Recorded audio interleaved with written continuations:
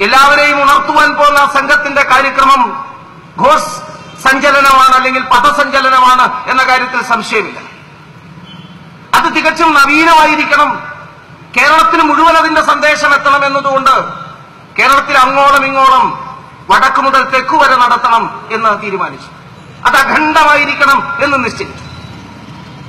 പരംപൂജനീയ ഗുരുജിയുടെ ജീവിതവുമായി ദർശനവുമായി കാഴ്ചപ്പാടുമായി ഭാരതത്തിലെ അദ്ദേഹത്തിന്റെ കർമ്മങ്ങളുമായി ബന്ധമുള്ളതായിരിക്കണം എന്ന് പറയുമ്പോ ഗുരുജിയുടെ ജീവിതം ജീവിത കർമ്മങ്ങൾ ബഹുമുഖങ്ങൾ